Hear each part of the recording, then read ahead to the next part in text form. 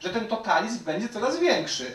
Myśmy chcieli wynająć za spotkanie salę WDK-u, to jest podlega marszałkowi i nagle pojechaliśmy podpisać umowę na wynajem tej sali, powiedzieli nam, że nagle jakieś spotkanie się wykroiło, prawda, i nie może być sala wynajęta, a to podlega oczywiście pod marszałka, ten, ten dom kultury. To jest e, dla mnie niepojęte, jak toczy się ta dziwna walka polityczna, brak jest ta cywilizacja, po prostu staje się teraz taka bardziej nie, nie nasza, prawda, więc te metody są też takie nie nasze.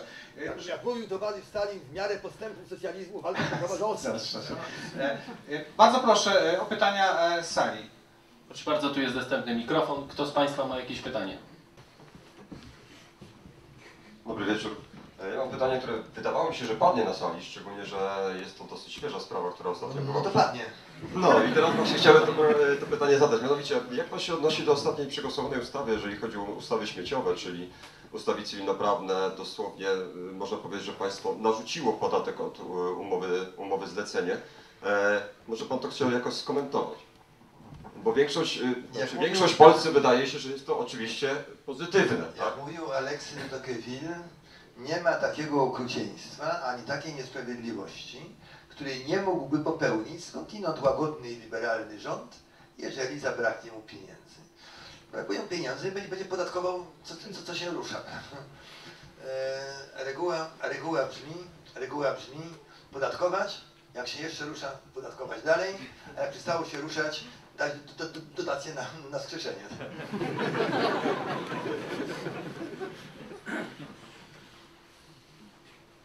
Czy ma ktoś jeszcze kolejne pytanie? Pytań nie zapewne dużo, tylko proszę zadawać je szybciej. Bo to jest, wiecie Państwo, tak jak to było na, na już tak się ten socjalizm, tam, znaczy socjalizm, komunizm w Związku Sowieckim się już rozłaził, tam Breżniew już rządził, tak trochę niedołężny, no i na Plac Czerwony wylatuje opozycjonista, wyciąga z karmana tutaj plik, no, ulotek wrzuca, więc wyskoczyło czterech ubeków, pozbierało wszystko, ich drugi czterech go za, do suki, na komisariat, biorą, no, co wy to, czyste kartki rozrzucacie? A co tu pisać, wszystko jasne. Bo wszystko jasne, to nie ma pytań jasnych, tak? Ostatnie, ostatnie wieście z Brukseli jakieś najnowsze. Wieści z Brukseli. Tak, Och, słuchajcie, brałem udział w wiekopomnym głosowaniu, bo muszę brać udział w głosowaniu, bo jak nie będę brał udziału w głosowaniu, to e, nie będą płacili diet. No więc e, wziąłem udział w głosowaniu, e, było z pięć głosowań chyba. Jedno z nich tyczyło Sudanu Południowego. Wstrzymałem się od głosu, nie wiem na czym polega ta rezolucja, ja się na przykład wstrzymałem od głosu. Jest zdumiewającą, że e, Unia Europejska zajmuje się głównie sytuacją w, Kirgistanie, w, w Kurdystanie, w Syrii, a propos do Syrii jadę, jadę za kilka dni, e, w Syrii, w tym, gdzie tam, w Libii, w Maroko, wszędzie, wszędzie, natomiast w Europie mniej, Europą się zajmuje mniej i to jest szokujące, jak ci ludzie w ogóle nie mają pojęcia o czym mówię. Jestem absolutnie przekonany, że co czwarty facet, który głosi płomienne przemówienie na temat Kurdystanu, nie ma pojęcia, gdzie ten Kurdystan leży. I, i, i wie tylko, że z, z, zamieszkują go Kurdowie, którzy okresa, okresami koczują na, na korytarzu w, w budynku Parlamentu Europejskiego. E, tak, i, i ten, i e, przy czym musi pamiętać, że człowiek, żeby przemawiać w Parlamencie Europejskim, musi mieć opanowane pięć fraz. Pierwsze, walka o prawa kobiet. Dwa, więcej demokracji. Trzy, walka o prawa mniejszości seksualnych. Cztery, walka o prawa mniejszości narodowych. I pięć, walka z globalnym ociepleniem. Mając te pięć y, sloganów, można było przemówienie na temat dowolny, dosłownie, tak jak żartuję? Y, W Libii, w Libii tam ludzie strzelają, prawda? Jest to tragi, tragicznie. Musimy prowadzić więcej demokracji w Libii. No i y, wychodzi następny, mówi rzeczywiście w Libii jest tragicznie, ludzie strzelają, więc musimy dbać o prawa kobiet w Libii. Wychodzi trzeci mówi, że w Libii jest tragicznie, nam strzelają, trzeba zrobić co z mniejszościami narodowymi w Libii. No i tak to, tak to, tak to każdy, każdy dostaje brawa jako ten dobry, kacokwakier. Zaczęło się dwa tygodnie temu Komisji Spraw Zagranicznych, której jestem członkiem. E, za mną siedział jakiś taki człowiek, wyglądał, wyglądał na rozsądnego człowieka, jak był jak się okazało. E, hiszpańskim socjalistą. On tego słuchał, słuchał, słuchał. Nagle poprosił o głos, którego mu o, o dziwo mu udzielono. I powiedział, tak, ale panowie, proszę Państwa, o czym wy tu mówicie? Jakie prawa kobiet? W Libii nie ma żadnego problemu z prawami kobiet. Jest problem facetów, którzy mają karabiny maszynowe i strzelają do wszystkiego, co się rusza. Wy mówicie, że trzeba zakazać eksportu broni do Libii. Słuchajcie, Libia jest eksporterem broni na pół Afryki. Więc wy się na tym nie zdacie. W tym momencie odebrano mu głos i dalej, i dalej już można było bezpiecznie mówić o tym, że trzeba więcej demokracji. Jak przyjechali ludzie z Kurdystanu, byłem na takim spotkaniu, to już lewica organizowała, i na sali połowa to byli ci posłowie lewicowi tacy, a druga połowa to byli tam właśnie- Kurdowie, jacyś tacy działacze z partii kurdyjskich, ale i innych. Yy, Z, z Środkowego Wschodu wszystko ludzie byli. Sala była taka, no ja zabrałem głos i powiedziałem, że przyczyną zła jest właśnie demokracja. Póki nie było demokracji w Libii, w Egipcie, Tunisie, Afganistanie, Iraku i tak dalej, to wszystko było w porządku. A nieszczęście zaczęły się, jak Amerykanie zaczęli to... e, Słuchajcie, wśród tych wszystkich Kurdów i tak dalej było wyraźne zrozumienie i kiwanie głowami, natomiast europosłowie w ogóle byli w Polsce. Na Coś takiego można powiedzieć. Wiadomo, że więcej demokracji to jest lepiej, nie? To jest oczywiste. Także, także ja nie, ja nie wiem, czy po tym moim wystąpieniu, tej reakcji tych, tych różnych Kurdów, to, to czy oni nie zwątpili w chęć pomocy dla dla Kurdom, to jest jakiś dziki, dziki zacofany lud nie docenia, nie docenia roli, roli demokracji. Zupełnie. Na, na, naprawdę wiedzieć, to jest umierająca cywilizacja. To, co tam widać, widać w Parlamencie Europejskim, to jest wyraźnie widać, że umiera nasza cywilizacja. Kompletnie. Tak jak umierał Związek Sowiecki, gdzie ludzie tylko bełkotali o tej roli klasy robotniczej, y, o, o przewodniej roli Związku Sowieckiego, prawda, i budowie socjalizmu. To też był taki, taki pięć sloganów, które trzeba było tylko wymienić. I można było przemawiać na, na dowolny temat. No to jest to samo. To nie ma, a nie ma chyba, poza tam kilkoma ludźmi na, na prawicy, to jest tam z 10 osób tak, tak, tak umie przemówić na, na prawicy. W ogóle sensownych ludzi jest do, do setki. Pozostałe, pozostałe, pozostały tłum po prostu był kocz. Ja rozmawiałem, rozmawiałem z, bardzo rozsądnym facetem z Anglii, z Anglii i wyrwałem go z sali, żeby, żeby zamienić parę słów i on mówi, proszę pana, to pan już jest drugim człowiekiem, który myśli tak samo jak ja. W tej komisji jest tam 70 osób czy 60. Drugim człowiekiem, który inny myśli. Tam jeszcze chyba trzeci był. To wszystko. Reszta nie myśli, powtarza tylko i wyłącznie slogany. Bez żadnego związku z rzeczywistością. W Madrycie pan prezes jeszcze nie był służbowo. W Madrycie nie byłem, co, jak, jak robocie Natomiast, natomiast tak, były, były wybory, więc odmówiłem wyjazdu tam do Chin i tak dalej. Wyjadę zresztą potem. Wyjadę potem, ale musiałem, musiałem to odmówić. Zresztą Chińczycy bardzo wreszcie przełożyli ten wyjazd. E, Natomiast ja le, le, lecę do Syrii. Jak się, jak się domyślacie, nie w celach turystycznych. Tam, tam raczej turystyka, to raczej trzeba mieć kołasznikowa, żeby... Samochodem. Samochodem. Nie, lecę samolotem i ordynatorzy gwarantują mi bezpieczeństwo od granicy syryjskiej do Damaszku. Natomiast co się stanie w Libanie, to nie wiem. Teraz pertraktuję, czy mogę zabrać ze sobą pistolet. Bardzo prosimy jeszcze o jakieś pytania z sali. Pan jest, bardzo proszę. To ja może tak bardziej lokalne pytanie, bo z tego co może, może nie zauważyłem, ale nie ma jakiejś konkretniejszej odpowiedzi w dłuższej perspektywie, jak zatrzymać tutaj młodych, bo z tego, z tego co widzę, to raczej Rzeszów jest drenowany z młodych przez większe miasta, przez Warszawę, Kraków, Wrocław, gdzie są większe płace. Ja wiem, że część młodych ludzi idzie głównie za płacą, ale jak w dłuższej perspektywie rozwinąć to w Rzeszowie, żeby tutaj też ta płaca poszła mimo, mimo tych oporów, Rozmawiałem, rozmawiałem z człowiekiem, który właścicielem baru, chyba w Lubelskim gdzieś, nie pamiętam gdzie to było, już myli trochę. Człowiek powiedział, że mnie obroty w barze spadły prawie trzykrotnie. I nie wiedziałem dlaczego i pojechałem do Dublina, do mojego znajomego i w barze w Dublinie spotkałem tych ludzi, którzy byli u mnie w barze. No i to wyjaśnia, dlaczego mu spadają obroty. Bo pan Tusk się chwali, że dzięki niemu bezrobocie spadło, bo ludzie wyjechali za granicę. Tylko zapomina, że ci ludzie będąc w Polsce kupowali buty, kupowali jedzenie, kupowali coś tam, czyli wytworzyli miejsca pracy dla innych. A wyjechawszy, już tego nie robią. ci, i którzy, którzy, którzy sprzedawali im to, a, a to, a to tę wódkę w barze, prawda, a to buty, a to coś tam, no są bezrobotni. Ale przewodząc na Pańskie pytanie, byłem, byłem w Londynie, w Londynie, nie byłem w Irlandii, ale w Londynie głosowało na nas ponad 50% ludzi w wyborach do, do Europarlamentu. Ponad połowa Polaków, którzy głosowali w wyborach, głosowało na Kongres Nowej Prawicy.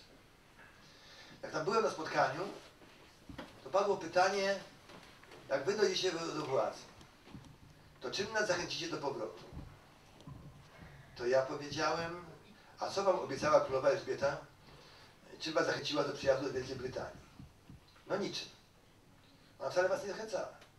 Po prostu tam są niższe podatki, niższe składki ZUS i tak dalej. Jak my obniżymy podatki i składki ZUS bardziej niż tam, to nie tylko wy wrócicie, ale jeszcze połowa Angoli z z wami też przyjedzie. No, bo oni też umieją liczyć. Także nie będziemy wcale zachęcali, absolutnie. Absolutnie. Przeciwnie. No to. Ludzie naprawdę umieją liczyć. I nie trzeba ich zachęcać. Na przykład jak była RPA, w RPA był apartheid. I był wielki jak ci murzyni są męczeni w tym apartheidzie. Co? Ilu murzynów uciekało z RPA do Mozambiku? Nikt. A z Mozambiku uciekały dziesiątki tysięcy tygodniowo do RPA, prawda? Gadalina była straszliwa, ale uciekali do RPA, a nie z RPA. Prawda? Mimo ten straszliwy apartheid tam rzekomo był, prawda, gnębiono tych... Wiecie, jak był ten apartheid? Jeżeli biały nazwał, nazwał murzyna kafrem, to dostało dwa tygodnie aresztu. Był straszliwy apartheid. Jeżeli biały się przespał z murzynką, to miał 6 miesięcy więzienia. Nie ona, on. Był to straszny apartheid, rzeczywiście. Bardzo proszę.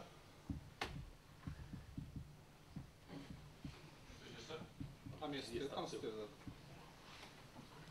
Panie prezesie, ja mam e, do pana dwa pytania. Pierwsze e, chodzi o tak zwany bezwarunkowy dochód podstawowy, który e,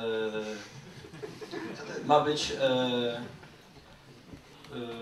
jakby to jest do, ma być, ma być przyjęty e, w Komisji Europejskiej w ramach e, tak zwanego tak zwanej walki e, z ubóstwem. A to do kolegi Waszkiewicza, bo jest w tej komisji. I drugie pytanie moje, co pan prezes myśli na temat swoich potencjalnych kontrkandydatów e, w wyborach prezydenckich? Nie wiem, czy będę startował w prezydenckich sam, nie wiem, kto będzie startował, więc, więc, y, więc ten, no, ale, oczywiście jestem lepszy, więc? Ale, ale jestem lepszy, bo, lepszy, bo oni są gorsi, to jest oczywiste. Natomiast, natomiast, natomiast co...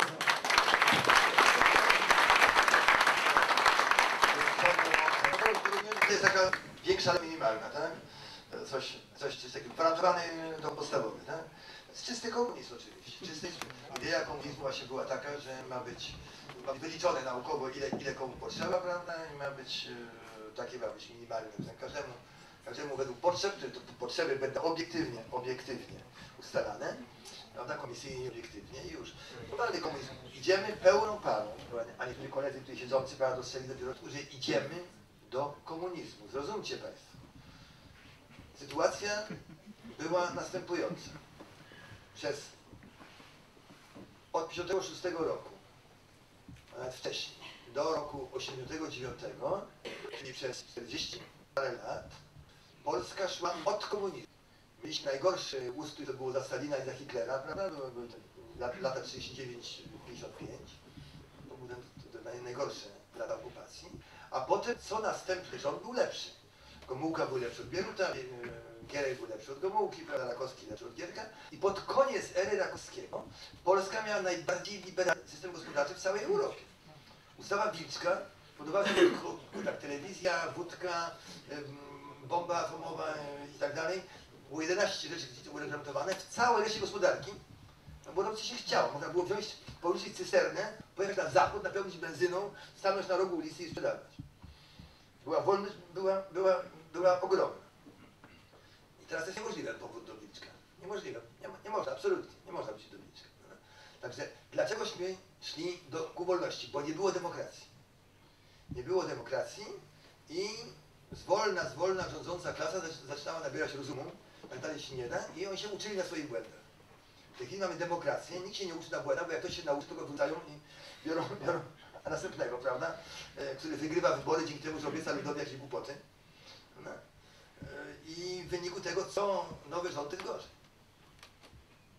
Jest, to jest, to jest, idziemy tej do, do, czysto, czysto do komunizmu. Tylko ja to ostrzegałem od samego początku, że związek zawodowy to przecież jest socjalistyczna instytucja. On się nazywa Solidarność, czy inaczej, to nie ma żadnego znaczenia. On będzie budował socjalizm. To jest, to jest ten problem. I ludzie dopiero teraz zaczynają zauważać, co się naprawdę dzieje. Bo trzeba odróżniać deklaracje od tego, co się dzieje, prawda? Tam można mówić, że idziemy do kapitalizmu, wolnego rynku i tak dalej, ale Góral mógł sobie robić odsypki jeszcze, nawet ze Stalina i Hitlera, jakie chciał, a dzisiaj ma na sobą kontrolę Unii Europejskiej. Prawda? Taka jest. Podatki obecnie są wyższe, 2,5 razy wyższe niż za Hitlera. Ilość biurokracji jest nieprawdopodobnie wyższa. Czy wiecie, że za, za Hitlera było y, 49 oficerów gestapo w Polsce tylko? Oczywiście mieli informatorów i tak dalej. Ja nie mówię, że Hitler był dobry, był to bardzo zły, ale obecnie znacznie gorsi pod tym względem, to trzeba powiedzieć. Porównaniu z rządami pana Kaczyńskiego i Tuska, to Hitler się jawi jako liberał. To jest coś potwornego. Jest coś potwornego, że Hitler może komuś dawać liberałem, ale w porównaniu z dzisiejszymi rządami, tak niestety jest. Tak niestety jest. Ja mówię o, o, o sprawach gospodarczych czysto, prawda? A nie o czym innym. Także, także idziemy w złą stronę. Absolutnie w złą stronę. I to jest efekt demokracji, bo jak powiedział Karol Marx, 200 lat temu prawie, tak? powiedział, że na to, żeby zbudować socjalizm, wystarcza zbudować demokrację. Z domyślnym, bo głupia większość ten socjalizm już zbuduje. Bo Socjalizm to jest idejka w sam raz dla idiotów, no a ponieważ jest więcej idiotów niż ludzi mądrych, w związku z czym no, trudno się dziwić, że jest jak jest. Bardzo proszę, Beatu. Możesz, proszę sobie od prezesa mikrofon na chwilkę. A proszę bardzo. Oddaj. Ja mam takie pytanie w sumie odnośnie strategii na już nie te wybory, które ju- już się praktycznie skończyły, kończą o 12 godzinie, e, bo jest cisza wyborcza, ale mam takie pytanie o strategię e, dotarcia, bo ja żyję w internecie od jakiegoś czasu, e, odkąd przyjechałem z Anglii.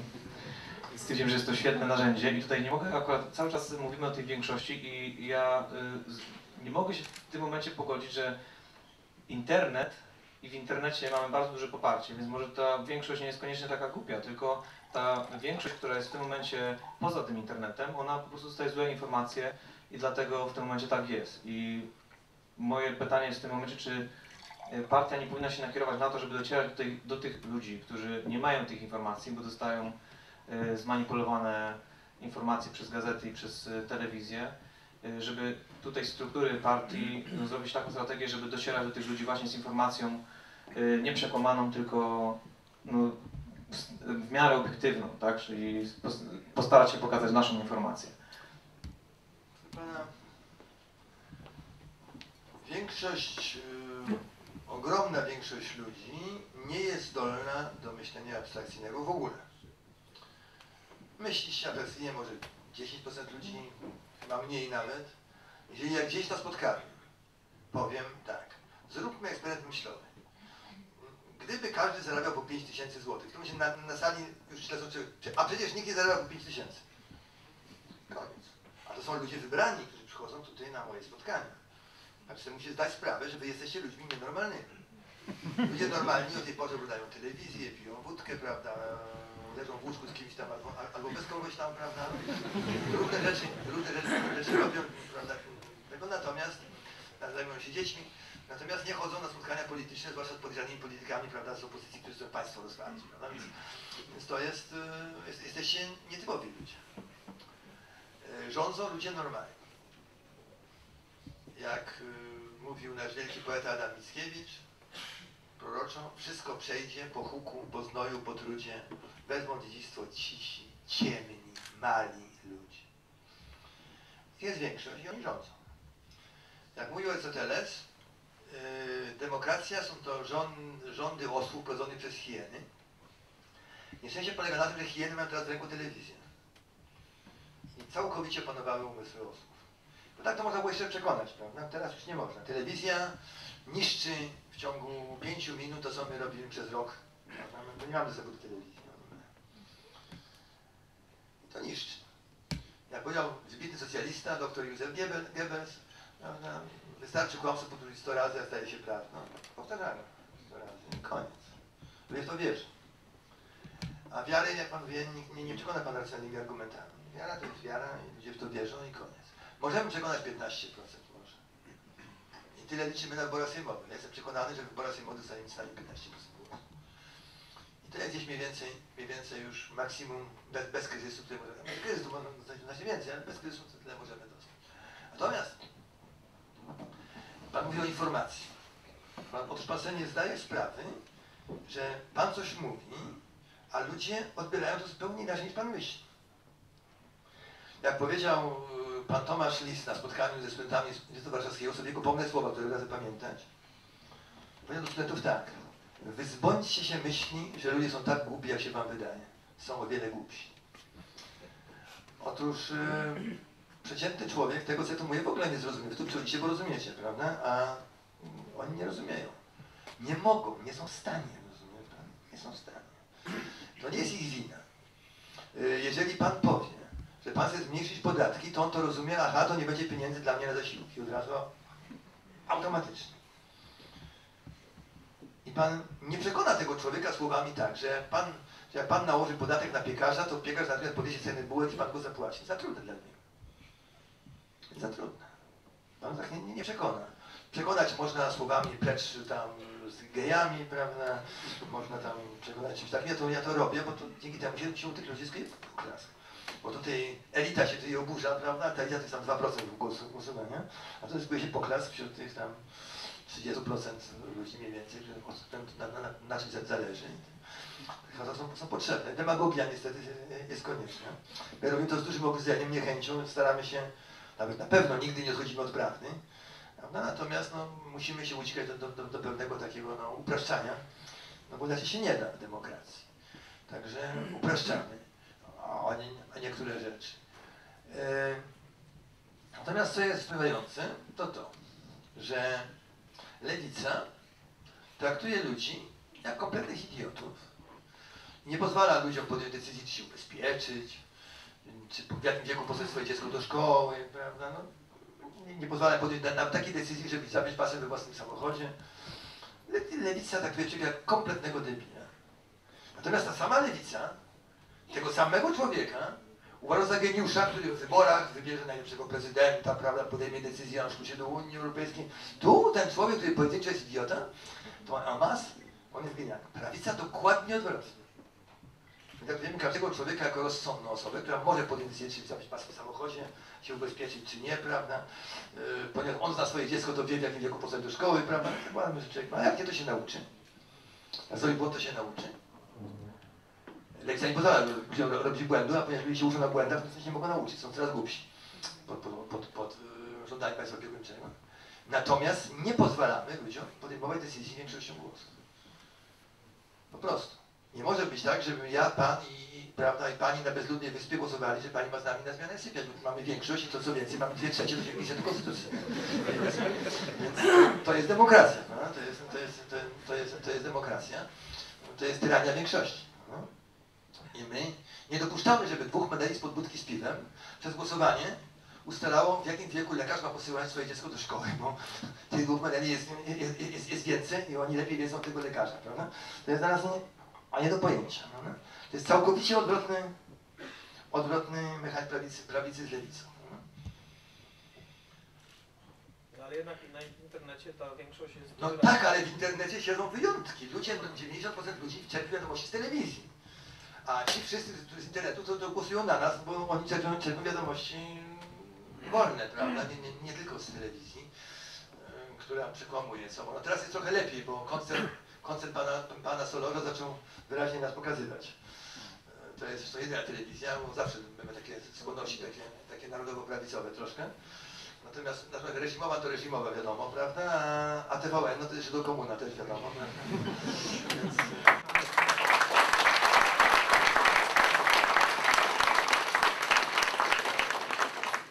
to, jest, to jest nasz naturalny przeciwnik. Bardzo prosimy jeszcze pytania z sali, tak? Dobry wieczór. Ja mam pytanie do pana prezesa odnośnie tych jakichś ruchów y, y, narodów, które chcą odzyskać niepodległość. Na przykład Szkocja chciała niedawno odzyskać nie- niepodległość, Katalonia, Belgia się chce podzielić i jak prezes widzi te wszystkie, tą całą sprawę, czy y, będzie jakaś korzyść dla Polski, dlatego że dzięki tym powstaniu nowych krajów Unia Europejska może troszkę się osłabić? A drugie moje pytanie jest w kwestii państwa islam, islamskiego. Czy Polska powinna jakoś bardziej za, zaangażować w walkę z islamistami, czy powinna tylko się przyglądać? E, Co do Unia się w miarę osłabiania poszczególnych prowincji, Unia się wzmocni. Towarzysz Gierek na przykład rozbił 17 województw na 49 po to, żeby osłabić y, baronów prowincjonalnych i wzmocnić władzę centralną. Więc jeżeli się rozbije państwa i, i w Unii będzie nie 28, a 75 mniejszych państw, to władza centralna Unii znacznie się wzmocni, a nie osłabi. E, natomiast e, drugie pytanie, przepraszam? Państwo islamskie. A państwo islamskie. Proszę pana, będziemy mieli za 6-7 lat państwo islamskie w Europie, konkretnie na południu Francji. E, Tupną nogą i oni już żądają w tej chwili szariatu, ale też wiecie, tam się na, na jedno dziecko białe rodzi się ośmioro muzułmańskich, więc... Ale nie wiecie jeszcze jednej rzeczy może, o, czym- o, czym, się wam nie mówi. Nie tylko, że rodzi się ośmioro dzieci muzułmańskich na jedno białe, znaczy białe, na, jedno, na jedno tam, no tak, francuskie powiedzmy. Eee,